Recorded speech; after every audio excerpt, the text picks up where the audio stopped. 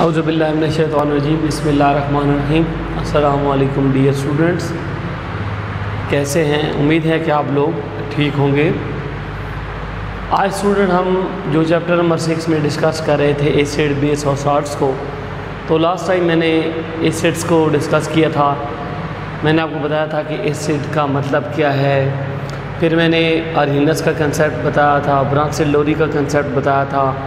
लीवेज का कंसेप्ट बताया था। मैंने आपको बताया था कि एसिड लफ्स एस्टर से निकला है, जिसका मतलब होता है सोर यानी तुर्श उसके बाद आरिनस का कंसेप्ट बताया था, उसने कहा था एसिड वो सब्सटेंस होते हैं जो हाइड्रोजन आइन देते हैं। बराबर से लोरी का कंसेप्ट बताया था कि जो है ना एसिड प्रोटॉन डोनेट करते हैं। और लीविज का कंसेप्ट बताया था कि इलेक्ट्रॉन सॉरी वो एसिड वो चीज़ है जो इलेक्ट्रॉन के पेयर को एक्सेप्ट करती है। तो आज हम इसकी प्रॉपर्टीज़ पे बात करेंगे। आप जो है ना वो इसकी प्रॉपर्टीज़ पे जब हम बात करते हैं तो सबसे पहले बात करते हैं कि इसके टेस्ट की। सबसे पहले बात करते हैं इसके टेस्ट की। मैंने आपको पहले दिन भी बताया था कि जो एसिड है, ये लफ्ज़ एसिडस से निकला है। एसिडस जिसका मतलब होता है सोर, या जैसे आप कहते हैं तुर्श सोर या जिसे आप तुर्श कहते हैं, ठीक है? तो एसिड का टेस्ट क्या टेस्ट क्या होता है? एसिड हैव सोर टेस्ट इनका टेस्ट सोर होता है सोर टेस्ट होता है तुर्श जायका होता है, जैसे जो है ना सिट्रस फ्रूट हो गया लेमन जूस हो गया, उनका जो है ना वो जायका क्या होता है? तुर्श होता है ना। तो एसिड जो है, आप कह सकते हैं कि टेस्ट क्या होता है, उसका सोर टेस्ट होता है। सेकंड हम बात करते हैं, ये क्या करते हैं? Acid turn blue litmus red acid क्या करते हैं? ब्लू लिटमस को किसमें तब्दील कर देते हैं? रेड में। जब एसिड के अंदर लिटमस को जो है ना वो रखा जाएगा तो ये ब्लू लिटमस को किसमें कर, जो है ना वो कन्वर्ट कर देगा रेड में। तो ये क्या करते हैं? ऐसे टर्न ब्लू लिटमस रेड उसको रेड में कन्वर्ट करते हैं। थर्ड बात है या थर्ड प्रॉपर्टी है दे आर या आप कह सकते हैं कि स्ट्रॉन्ग एसिड्स आर कुरेसिव उसके अलावा ये एनिमल्स के टिश्यूज़ के ऊपर पड़े, जो है ना, वो जल्द के ऊपर हों या कपड़ों के ऊपर गिरें तो बिल्कुल उसको क्या कर देते हैं? ख़त्म कर देते हैं। क्या कर देते हैं? ख़त्म कर देते हैं। फोर्थ प्रॉपर्टी है इसकी they are good conductor of electricity इसकी फोर्थ प्रॉपर्टी क्या है? कि they are good conductor of electricity या इलेक्ट्रिसिटी के अच्छे कंडक्टर होते हैं। पहला हमने पढ़ा है कि इसका टेस्ट क्या होता है? शोर दूसरा ये ब्लू नंबर्स को रेड कर देते हैं। ये जो ना, वो कुरेसिव होते हैं, जो स्ट्रॉन्ग एसिड होते हैं कपड़ों को एनिमल टिश्यूज़ को बिल्कुल ख़त्म कर देते हैं डिस्ट्रॉय कर देते हैं और इलेक्ट्रिसिटी के अच्छे कंडक्टर होते हैं। इन चार को देखें, फिर मैं आपको नेक्स्ट समझाता हूँ।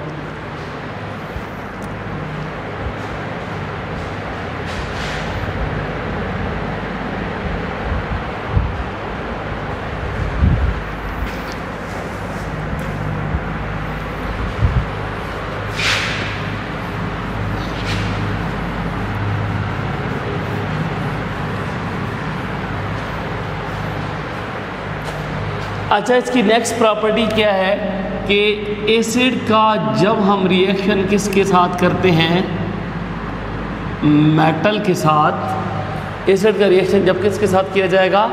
मेटल के साथ। तो ये क्या प्रोड्यूस करते हैं? सॉल्ट प्रोड्यूस करते हैं। क्या प्रोड्यूस करते हैं? सॉल्ट प्लस कौन सी जो ना गैस रिलीज़ होती है? हाइड्रोजन इसमें हाइड्रोजन गैस क्या होती है? रिलीज़ होती है। जब भी एसिड का रिएक्शन मेटल से करेंगे तो सॉल्ट बनेगा और हाइड्रोजन रिलीज़ होगी। मैं आपके सामने एक एग्जांपल लेता हूँ। हाइड्रोक्लोरिक एसिड और बेस में लेता हूँ सोडियम हाइड्रो ऑक्साइड अब अगर आप यहाँ पे देखें तो H पे पॉजिटिव और Cl पे नेगेटिव इस तरह सोडियम पे पॉजिटिव और OH पे नेगेटिव अब पॉजिटिव और नेगेटिव यानी ये दो आपस में मिलेंगे तो क्या बन जाएगा? NaCl बाकी ये H पॉजिटिव और ओ OH दोनों मिलते हैं तो क्या बन जाता है? सॉरी हम रिएक्शन मेटल के साथ करें, ना कि बेस से करें। यहाँ पे हम मेटल लेंगे। ठीक है? तो यहाँ पे देखें कि सोडियम का रिएक्शन किससे होगा? इसे जब मिलेंगे तो सोडियम क्या बना देगा? क्लोरीन के साथ मिलके सोडियम क्लोराइड और कौन सी गैस रिलीज़ होगी? H2 अब इक्वेशन बैलेंस नहीं है हाइड्रोजन इधर एक है, उधर दो हैं, इसको दो से मल्टीप्लाई किया। क्लोरीन यहाँ दो हो गए, इधर एक है, इसको दो से मल्टीप्लाई करेंगे। अब सोडियम इधर दो हैं, इधर एक है, इसको भी दो से मल्टीप्लाई करेंगे। सेम इसी तरह अगर हम सल्फ्यूरिक एसिड लेते हैं, उसका रिएक्शन हम मैग्नीशियम से करते हैं तो मैग्नीशियम सल्फेट बनेगा और कौन सी गैस रिलीज़ होगी? H2 तो बनेगा magnesium sulphate plus H two release होगी। इक्वेशन भी आपकी बैलेंस है। सेम इसी तरह अगर मैं रिएक्शन करता हूँ, इसका सल्फ्यूरिक नाइट्रिक एसिड का कर लेते हैं। ये है हमारे पास नाइट्रिक एसिड इसका रिएक्शन मैं फिर सोडियम से करता हूँ। तो यहाँ पे सोडियम नाइट्रेट आ गया प्लस एच टू यहाँ से रिलीज़ होगी। अब हाइड्रोजन दो हैं, इधर एक है, दो से मल्टीप्लाई करेंगे। अब इधर जो है ना, वो एन ओ थ्री यहाँ पे देखें, दो हैं, इधर एक है, दो से मल्टीप्लाई करेंगे।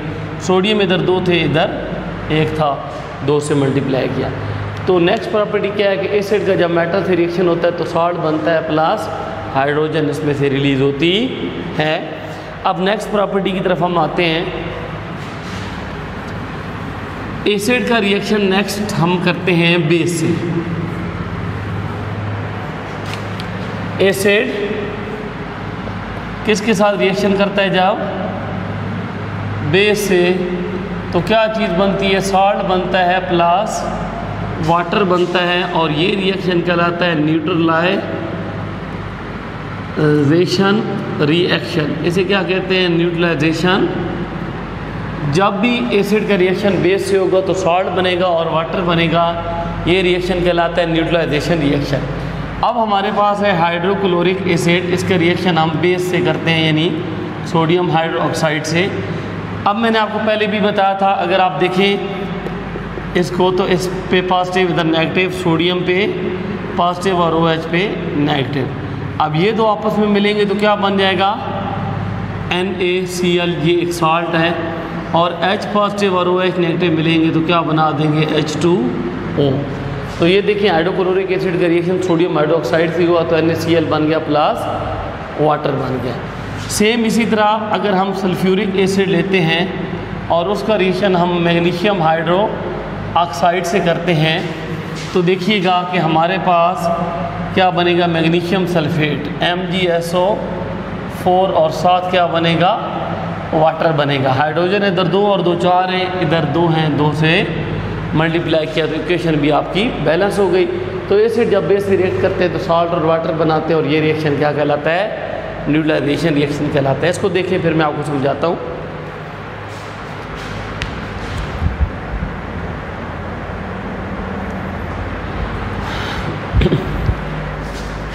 उसके बाद हमारे पास लास्ट रिएक्शन है।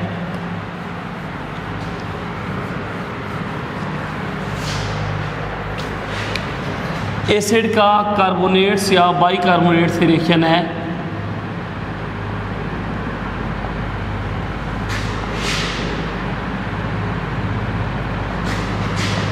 इससे क्या बनता है? साल्ट बनता है वाटर बनता है और कार्बन डाइऑक्साइड रिलीज़ होती है। जब भी वाटर का रिएक्शन सॉरी एसिड का रिएक्शन कार्बोनेट्स या बाइकार्बोनेट से हो सॉल्ट बनेगा वाटर बनेगा और कार्बन डाइऑक्साइड रिलीज़ होगी।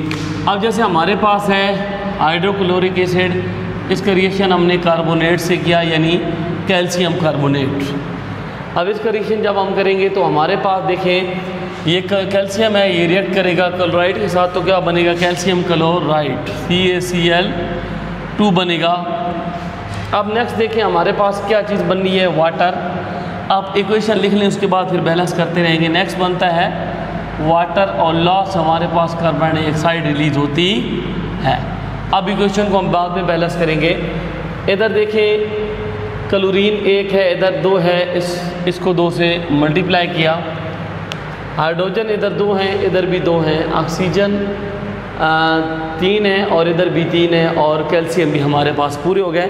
तो इसमें आपने देखा कि हाइड्रोक्लोरिक एसिड का रिएक्शन जब हमने कैल्शियम कार्बोनेट से किया तो कैल्शियम क्लोराइड बना वाटर बना और कार्बन डाइऑक्साइड रिलीज़ हुई। सेम इसी तरह जब हम सल्फ्यूरिक एसिड का रिएक्शन करेंगे, मैग्नीशियम बाई सल्फेट से। पहले हमने सल्फेट के साथ रिएक्शन किया था, अब हम बाई सल्फेट से रिएक्शन करते हैं।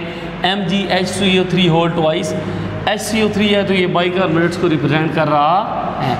अब बनेगा magnesium sulphate M G S O four यहाँ वाटर बनेगा और यहाँ पे कार्बन डाइऑक्साइड रिलीज़ होगी।